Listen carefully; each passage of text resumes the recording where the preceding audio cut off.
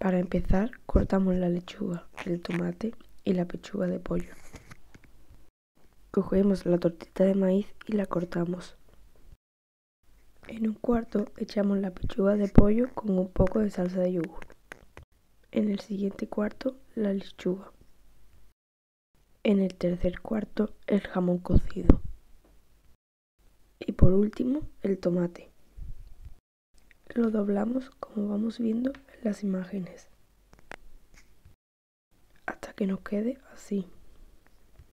Lo metemos en el grill para que se haga un poco. Y este es el resultado final.